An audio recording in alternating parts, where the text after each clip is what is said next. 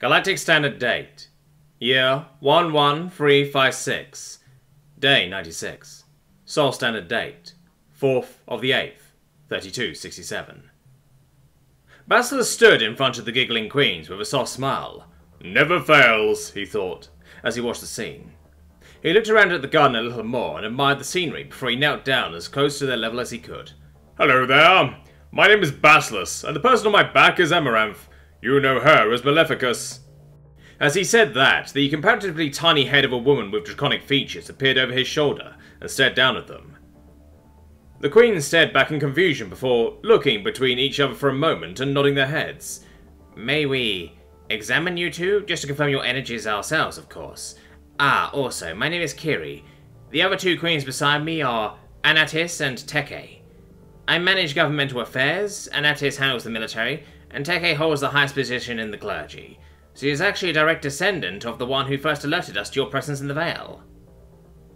Basilisk looked over the three queens, which each looked unique, not only in the attire being related to their work, but their very physiques. Kiri was wearing a red cloth that was draped over her body in a way similar to a toga that highlighted her smooth black carapace. Anatis was wearing something similar to Tel Aktan's predator armor, but meaner looking and covered in spikes.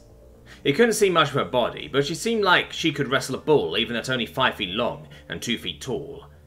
Teke looked eerily similar to a warlock from old fantasy games. She was covered in various runes as well from using an inscription without the nanites to fix her as Basilisk had. The black robe draped over her life frame was inlaid with a silver mural of Lunicia as she watched over Basilisk's tiny form as he battled Amaranth back when she had lost her sanity. Basilisk shrugged his shoulders.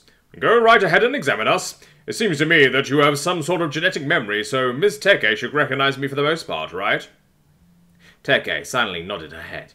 Yes, Great Slayer, your forms have changed, however, and in light of that and the current situation with the slimy bastard that controls time, we don't want to take any chances. We must confirm everything, she said, as the runic inscriptions on her started to glow a whitish green. She held out her two front legs and pointed them at the pair of gods. Red ven lunicia, mena le lithithis, do remena dos taxi natura. The off-color green light enveloped the two for a moment, before receding back into Teke, who took a deep breath. I confound it with the power of the goddess. Their true nature is as they say. They mean us no harm, they are being truthful. The Slayer has ascended to godhood and assumed the mantle of death, as well as taking on some of the power of hatred from Maleficus.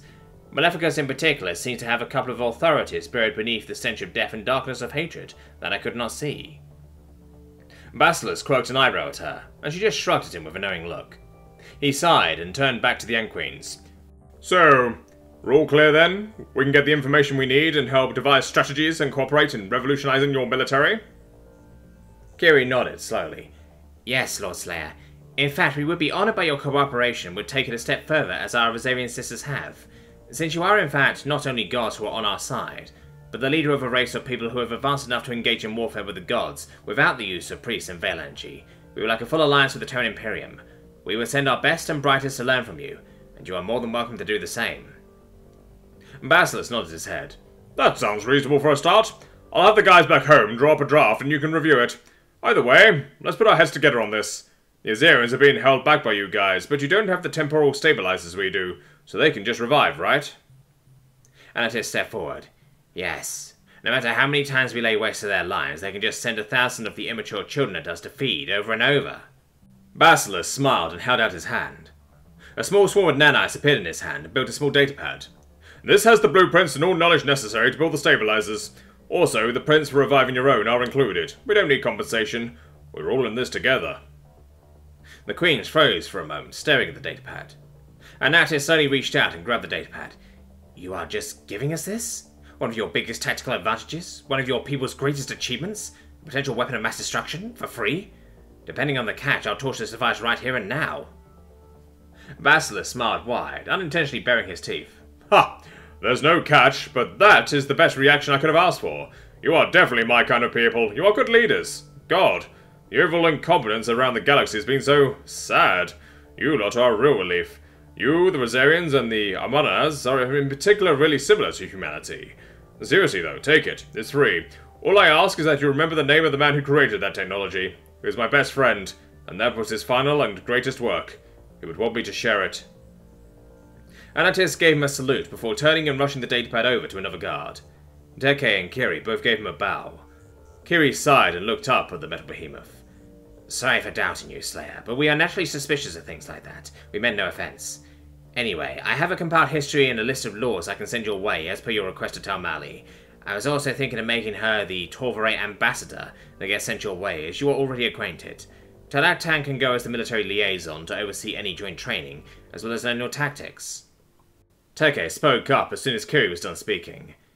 As for Tel Dracanis, we will need her to finish her job of assisting the rebuilding effort on Tulunis as the highest ranking member of the clergy on that world, after which we can assign her to train warrior priests to fight alongside your Terran battle groups. Basilisk nodded his head and stroked his chin as he thought, Yeah, all of that sounds like it would be really beneficial, especially a collaboration with your scientists on learning how to refine and use the Veil energy to power devices. Well, if that's. A sharp yell of, What? caught the attention of the group. They looked in the direction of the yell and saw Anatis sprinting back towards them. Hey, the Azerians are retreating. Teke, contact the clergy and find out where those fuckers went. Basilisk's expression hardened for a moment, and he took a deep breath. I'll let you link to my mind as well, Teke. That way you can let me know what's going on as soon as you find out. In the meantime, I'm going to head back to the main battle fleet in GC space. I have to let Aurelius and the fluffy ones know what's going on here, and find out the situation over there. The group nodded in affirmation, and Teke quickly established a connection to Basilisk before he began opening a rift.